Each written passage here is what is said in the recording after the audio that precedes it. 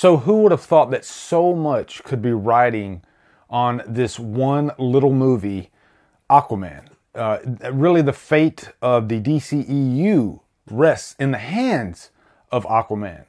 So, is it good?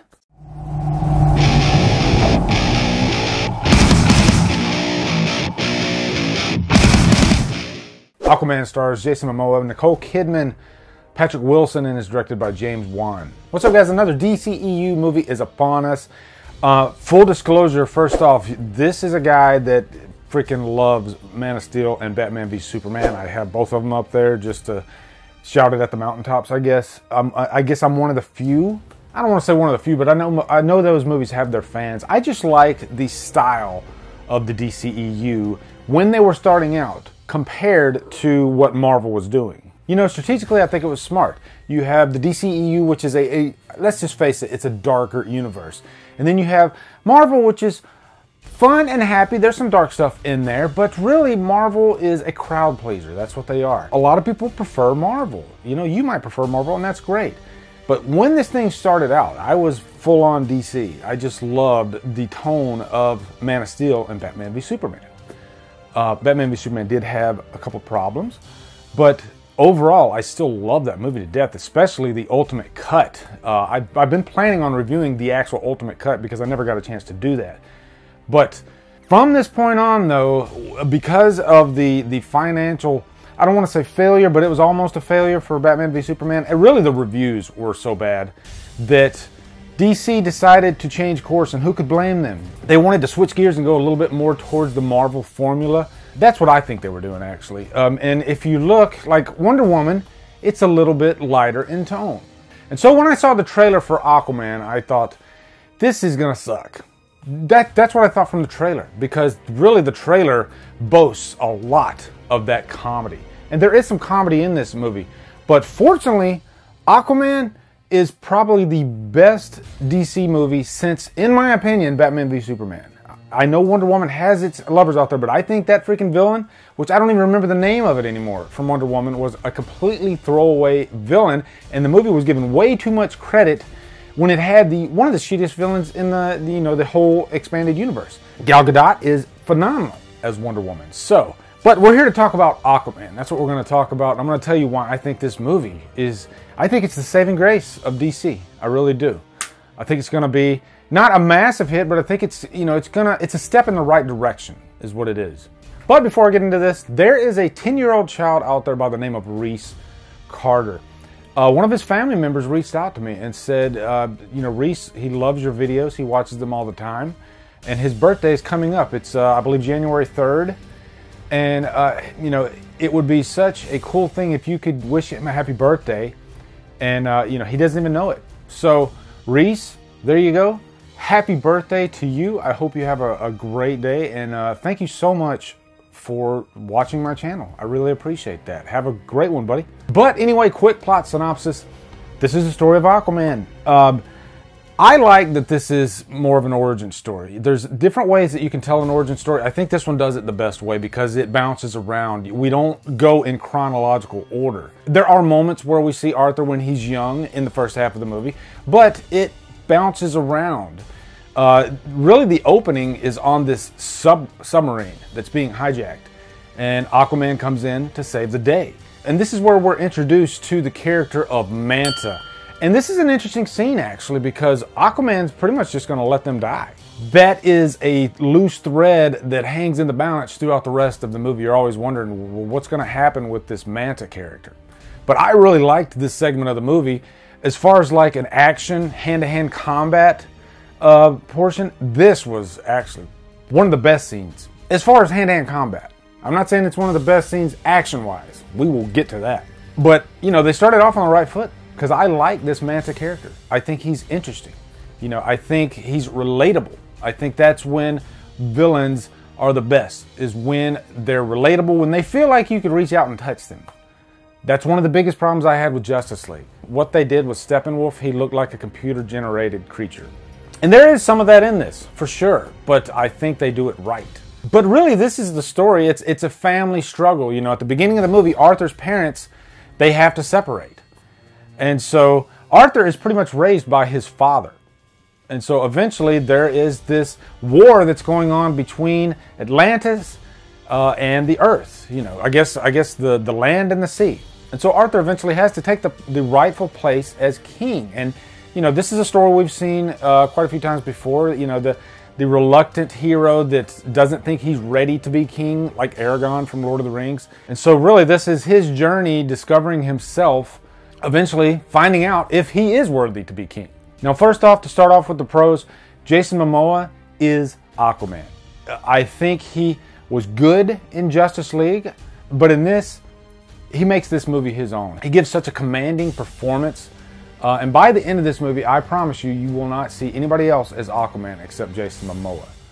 Uh, I love when an actor just digs so deep into a role that is passionate about a role. I think it comes across on screen, and you can tell that Jason Momoa is so passionate about this role. He loves it. And I wouldn't want anybody else to have it.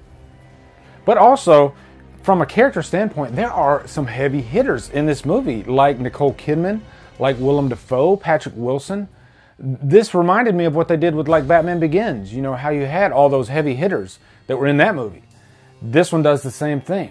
Patrick Wilson is Arthur's half brother. You know, there's this struggle between him and Arthur because he has been uh, commanding Atlantis for this whole time. And so then he hears about Arthur, who is the rightful king, and he's going to have a problem with that. And I can understand that. Uh, that's a relatable villain you know, this is a guy that's really taking up the mantle the whole time. He is making sure that uh, Atlantis is running smoothly. I get why he would have problems with Arthur coming down. He's not like a full on evil guy. He has his territory, Atlantis, in his best interest, much like Zod did in Man of Steel. And also, you got uh, Mera, played by Amber Heard.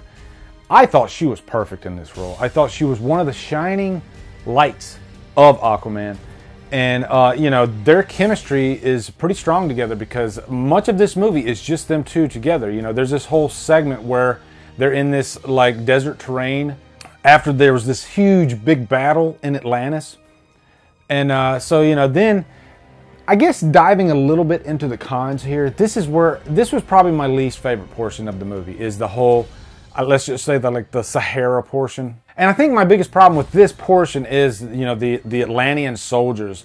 The costume design in the, this portion of the movie I thought was pretty lackluster. Uh, the, these look like costumes that you could pick out at Walmart for Halloween, and uh, you know that kind of take, took me out of the movie a little bit. Now, if I'm being honest, at this point in the movie, I had almost given up hope. I, you know, I, I thought if this keeps going this direction, you know, it feels like one of the, one of the bad parts of the Caribbean movies, then I'm gonna check out and I'm done with the DCEU. It was fun, but then something happened. Something amazing happened with this movie, and it's something that rarely happens in movies. Actually, you know, where a movie is going one trajectory, and then in the middle, it just completely changes course and gets completely badass. That's what this movie did. Kingdom of the Trench James Wan, as we all know, is a horror director. Uh, in this section of the movie, I sat up. I literally sat up in my seat. My eyes got all big. I was my, the horror fan in me was just uh, jumping for joy, and I was like, "Yes, here we go. This is a badass sequence, actually." You know, the Kingdom of the Trench is these like zombie-like fish creatures, and uh, you got Arthur and Mera. They're they're on this boat, and they're attacked by literally like hundreds, thousands of creatures and the lighting in that that scene, the cinematography, uh, everything about it was it just screamed horror, and I loved it. And I thought this would be like a nice little horror homage that was kind of wedged in there, but no. From this point on, the movie just completely kicks ass all the way. After this, and we've seen in the trailer when Arthur comes out of the water and he's wearing the actual Aquaman costume, what follows after that scene is one of the most badass final acts of any comic book movie I think I've ever seen. I am serious, guys. You talk about world building, and even before this scene, all the scenes in Atlantis are just breathtaking. You're to get those like Avatar vibes from it. But, uh, you know, you get to see a whole society down there and how they manage things. And uh, there's a lot going on. But then, once you get to the end, you really get to see how epic a battle scene can be underwater. And it was it was breathtaking. I couldn't believe it. I, I left this movie thinking, wow, that was one of the best movies of the year. How did a movie that started off kind of, okay, this is interesting, and then went from that to, okay, this is pretty generic, and then from that, this is one of the best movies of the year. So I guess you got some some pacing issues there with Aquaman, but uh, I mean overall, guys, this movie I thought was phenomenal. If it wasn't for that middle section, this would definitely get her trapped on an island. But because of that, it's getting a super high purchase worthy, and I can't wait to add it to my collection. Uh, it, it, sits firmly at number three for me uh, in the DCEU, and uh, you know it's one of the. Gr- I, I consider this a great movie. I really do. And I did not expect that with an Aquaman movie. I, I thought when I went into this that Aquaman was going to be like, you know, one of the worst, if I'm being honest. Because it really, the character did not prove himself to me in Justice League at all. You know, I thought he was one of the worst parts of Justice League. And to go from that to being one of the most interesting, fun, epic characters uh, of the bunch you know, and I think the big thing too is this really showed for the first time how badass Aquaman is as a character because I know in the comics, uh, the guy is pretty damn powerful. You know, he controls the entire sea. You get to see that in this movie. That is the good news. Finally, we get to see Aquaman, and he is just as interesting as Batman, just as interesting as what can be done with Superman. I thought they did it in Man of Steel. So anyway, guys, post in the comments your thoughts on Aquaman. Looking forward to hearing them. Also, stay tuned for my best of 2018. I did my best horror movies of 2018. Now I'm just going to do overall best movies. So some of those horror titles are going to be in there, of course, because I am the horror guy. And then um, also I'm going to do my worst list. Worst horror movies of the year and then worst movies in general, because that's a different list. And also today I'm actually doing a Drumdums Watches of Black Christmas, which is going to be a lot of fun. I haven't decided if it's going to be the original or the remake. Both have really interesting things to talk about. So I posted on Killer Flicks uh, and Instagram to see what you guys think. But anyway, guys, be sure to come over to Killer Flicks where we talk horror all day and every day on Fridays, review on Fridays. Follow me at Drumdums on Facebook, Twitter, Instagram, Letterboxd, and now Stardust. If you like what I'm doing, hit that subscribe button. I'd really appreciate it. Anyway, guys, thank you so much for watching. Have a great day and Drum Dum out.